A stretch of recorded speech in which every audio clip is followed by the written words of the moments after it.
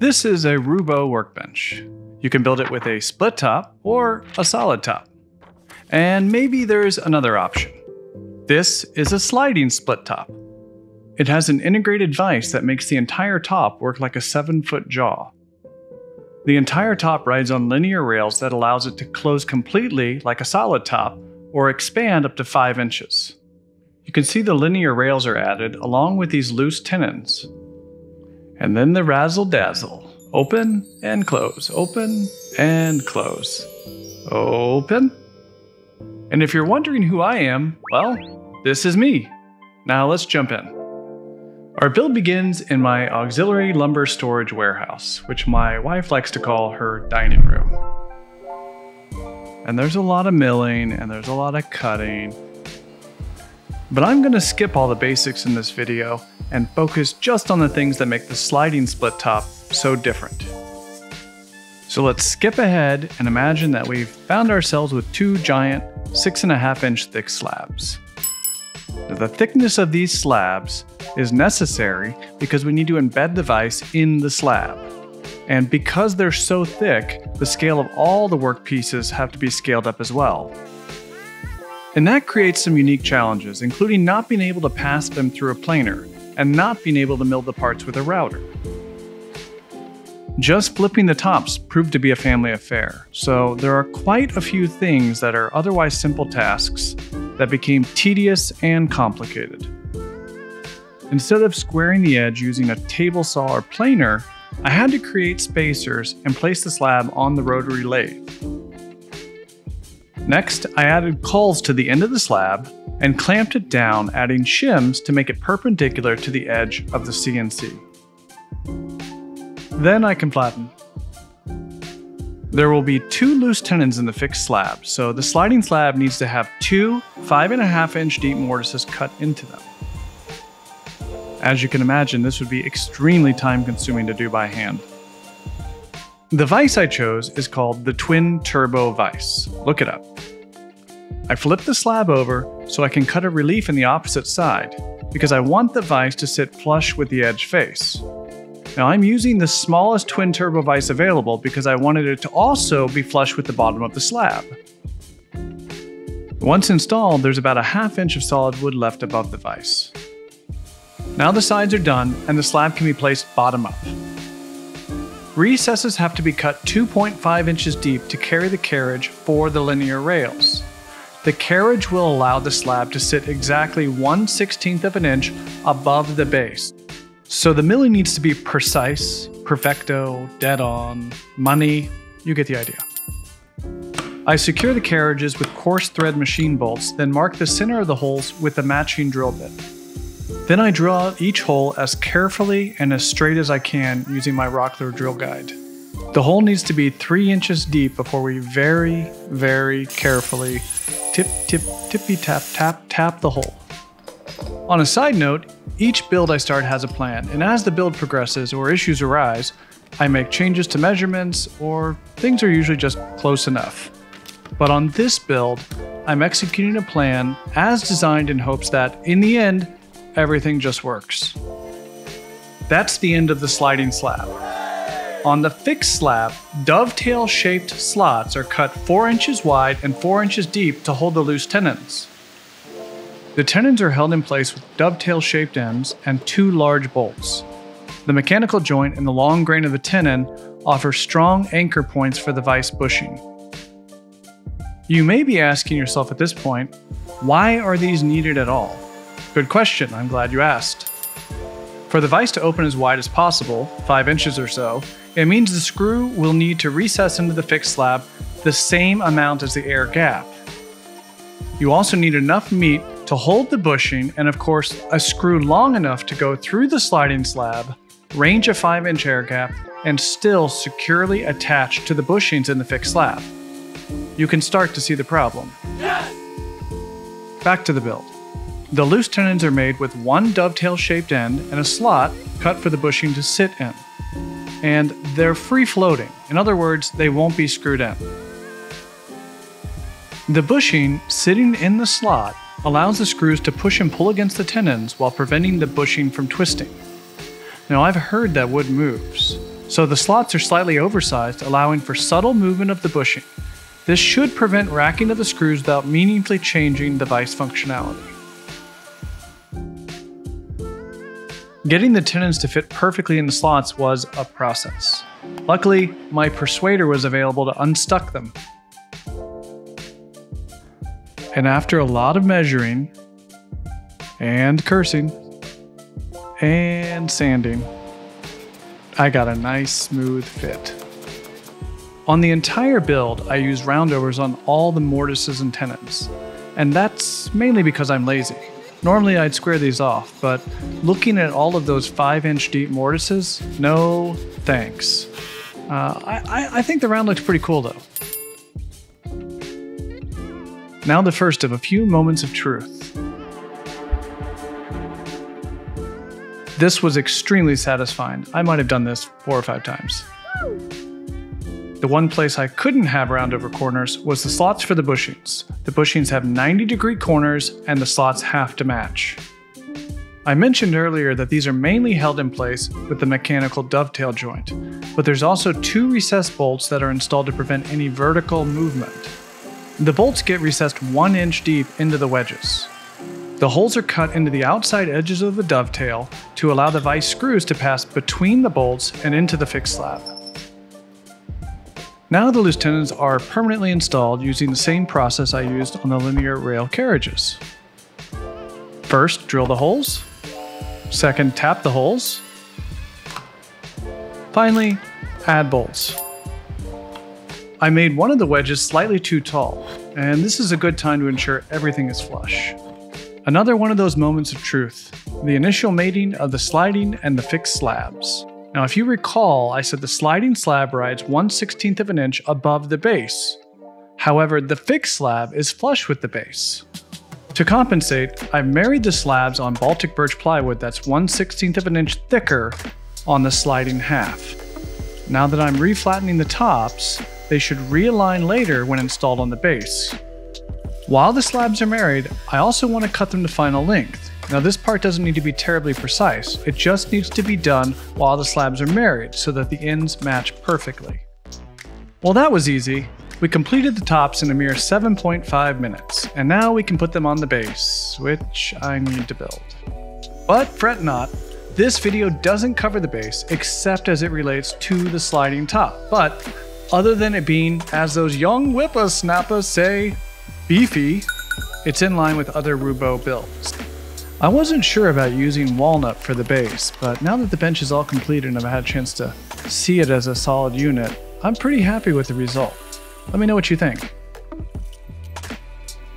Rigidity of the frame was really important to me, so I decided to both glue and bolt the base together. I also added one other feature you might have noticed. If you said cross brace, you would be right. I was looking for ways to further increase the rigidity, and this wonderful idea was suggested to me. Beyond just general rigidity, I was worried about the frame racking due to the vise, and so the crisscross is linked to the frame at four points with a half lap joint in the center. Now the next step is to take our perfectly good base and immediately change it. The sliding top can cantilever out 7 inches from the edge of the bench, and for it to do that, it has to have a linear rail to sit on. I think you can see where this is going. The linear rail has to sit on something, and so we're going to have to add an extension to the base for the linear rail to fully rest on. Now, if you're wondering if the bench is going to fall over when the sliding top is fully extended, well, survey says it will not. I made these out of 12 quarter stock and they're going to be inset into the leg base by 1 quarter of an inch. They carry a small part of the load of the linear rail, and they're as much for aesthetics as they are for functionality. The insets are cut using a router with an edge guide to define each of the sides and then the bottom, then carefully clearing out the remaining waste. Once I verify the extension fits smoothly, I can square off the corners, then rinse and repeat on the other leg. Because it's end grain, I want to avoid edge sanding once it's installed, so I clean up the top and bottom edges now. Both extensions need to be perfectly level with the already leveled base and fully fill the inset. So when I'm sure I've got it perfect, I glue them in using Titebond Dark. With the extension installed, I can install the linear rails. Now, spacing is really important since the carriages are already installed on the sliding top. So I decided to keep this simple and cut a slightly oversized recess for the linear rail to sit in, which is fine as long as the linear rail is exactly 9 16th of an inch inset. But where they're bolted in is extremely important. The rails must be parallel to each other and perpendicular to the fixed top. Additionally, they must align with the tenons for the vise, and you want the ends of the bench to be in line. So it's very important to measure not just once, not just twice, but 72 times. I use the same technique as before with the router and edge guide, but this time with a piece of Baltic birch clamped to the base to provide my straight edge. Before I put on the tops, I want to do any remaining work that might be difficult once the tops are installed. So I'll add the chamfer details and I'll also go ahead and apply the finish. The fixed tops sit on two 4 inch square tenons, and four additional 8 inch lag screws prevent the top from lifting up, tilting, or otherwise shifting. After measuring using all 10 fingers, I tap the holes, bolt in the linear rails, and prepare to curse, as the moment of truth is soon going to be upon me. When I mill the edge to accept the twin turbo vise, I cut pilot holes for the screws, but they're only 2 inches deep. These pilot holes define precisely where to place the holes for the vise screws in relation to the frame. Now it's extremely important to drill perfectly straight. Even a slight deviation will lead to serious problems.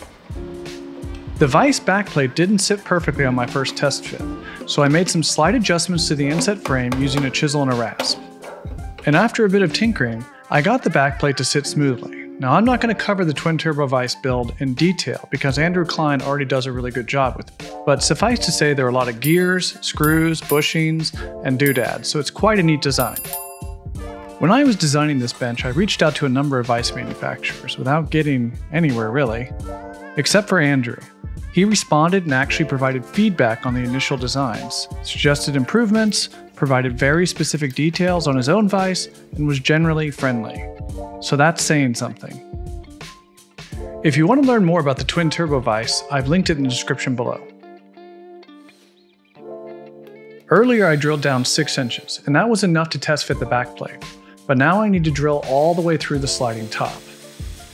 I'm using an 18 inch long auger bit and again, it's really important to have no deviation in the angle. And now the biggest moment of the build. My wife and I are trying to fit the completed top on the completed base. And to say this was stressful would be an understatement. It should just slide on if everything is right. And if I'm being honest, I wasn't really sure it would work.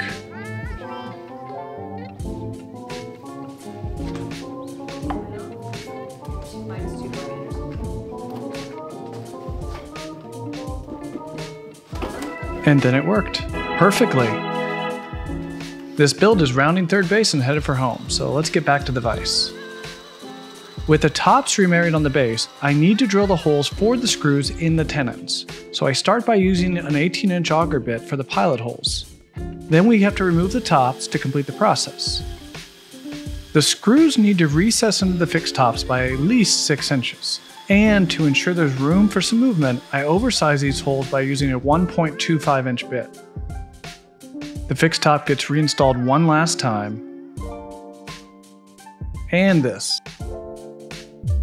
And after making sure everything is level, it's back to the vise. Because the bushings aren't screwed into the loose tenons, remember they just float in the slot, someone has to hold them in place while the screws are engaged. The gears are perfectly aligned before fully assembling in hopes that the alignment will be perfect. You can see just how deep the screws of the twin turbo vise recess into the fixed slab once it's removed. Upon the first attempt at using the vise, it doesn't work. It binds. But after some investigating, we find the problem. So, remember how I mentioned the fixed top was installed for the last time? Well, it turns out that the screw and the bushing alignment are off by a quarter of an inch. So as the vise closes, it starts to bind. Anyway, back off with the top and a bit of chisel work later, and 1 8 of an inch has been added to each tenon. Keep in mind, I use the word tenon loosely. and then the razzle dazzle. The rest of the build is pretty straightforward. I level the top a bit more with the jointing plane and then go over it with the smoothing plane. After, it gets light sanding and then finish.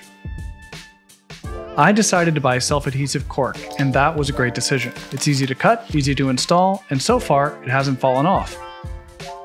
And so while no warranties are express or implied, you can find it on Amazon. And then just like that, the sliding split top part is done. But there is one other thing before the bench is fully complete. And that would be the shelving. I went with an interlocking shelf design with a keystone shelf in the middle. I wasn't sure I liked the look of the walnut base until the shelving got installed, but afterwards, I think it looks great. Take a look.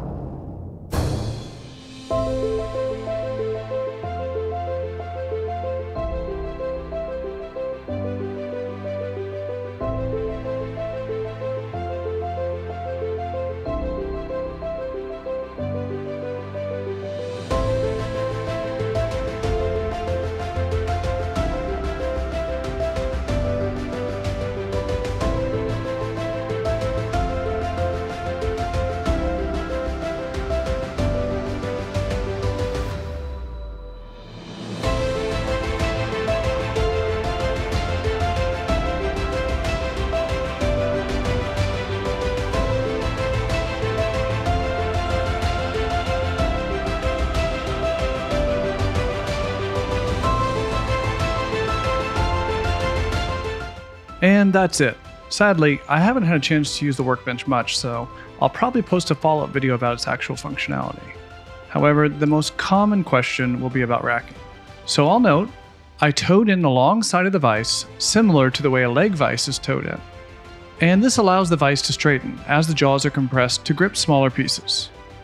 All I can say for now is, so far, so good. Let me say though, every vise has its uses, and half the benefit is being able to expand the bench top to 33 inches. So when I recover, I'll make an insert for the vise that allows a full width solid top. And I always like to hear the specs and stats on a build, so I'll include them in the description. Also, video creation is not really my thing, so this was quite a painful process for me. And if you like this video and you want to see more, now would be the time to do the thing. The thing, you know, on YouTube. Anyway, one last thing before I go. If you're looking to build any style Roubo bench, I highly recommend the Wood Whisperer Guild Roubo and Hybrid series. They are well worth the money, and having made this video, I have nothing but respect for those series. Thanks so much for watching. Is it recording? Yeah. Work it, baby. Oh, work it, baby. this poor man the things he puts up with. It's true. No, the things I put up with. That's true. It's not true. It's terrible.